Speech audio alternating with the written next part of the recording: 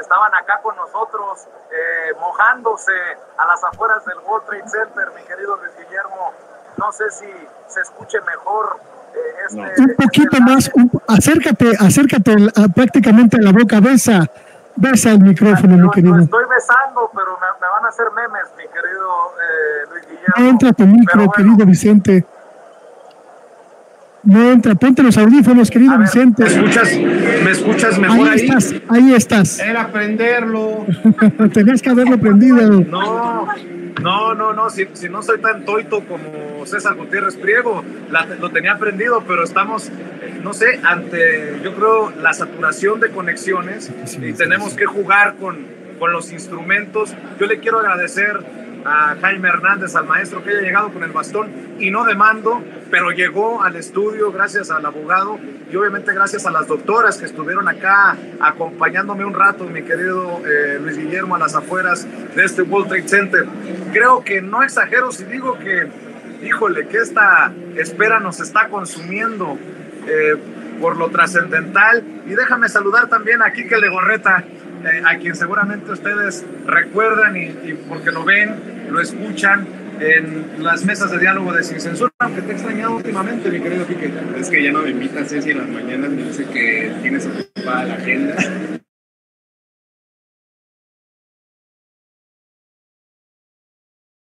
A ver si. Ahí está, ahí está. Es que, es que la señal está muy mal, muchachos. De verdad, Vicente no, no lo hace a propósito. Está muy mal la señal. Somos demasiados medios cubriendo el evento y desafortunadamente las fallas técnicas, este, como las de Colosio, aún no se hacen presentes.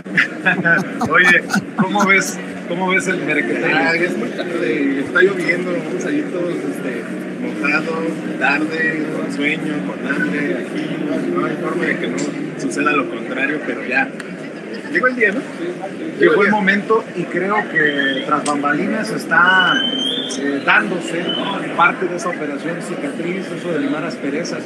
Así me lo imagino, luego de ver algunas fotografías que han circulado. Sí, sí ya había ahí unas que otras fotografías también que han empezado a circular. Y yo creo que es momento de que el ejercicio de la, de la eh, encuesta de como resultado la unión, porque eh, después de esto llega el momento de empezar a defender ahora sí todos el movimiento de acuerdo de transformación, porque es evidente que la oposición no va a parar y ya está burla a con todo lo que está haciendo de berrinche, porque para mí es un berrinche lo que está haciendo, y todo lo que están usando las palabras del mismo presidente, los están usando en contra del movimiento. Entonces evidentemente se ve una ola de ataques diferentes este, situaciones complicadas para el movimiento que te, en unidad van a poder hacer las frentes. Si van separados, si no empiezas a hacer el tema de la cicatriz, la cicatriz, no vamos a poder avanzar en ese punto y evidentemente se trata de que todos hayan unificado, todos hayan juntos para que en el 2024 se consume esta victoria o esta posible victoria que se puede dar.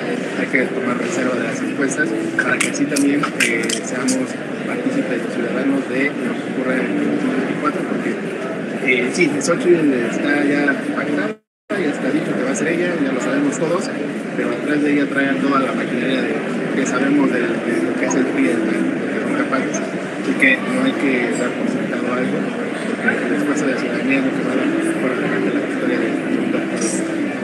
Así es, mi querido Kike, pues ya sabes que sin censura también es tu casa y no, nos vamos pronto. Claro que sí, este, Ceci Vega. Mi querido Vicente. Nos tiene Vicente Serrano. para la noche nada más, así que. No se escucha, Vicente. Vamos a tener que cortarlo. Mi querido Vicente, está entrando ya la transmisión del de, de, canal de Morena. Vamos, vamos, Guillermo, vamos contigo.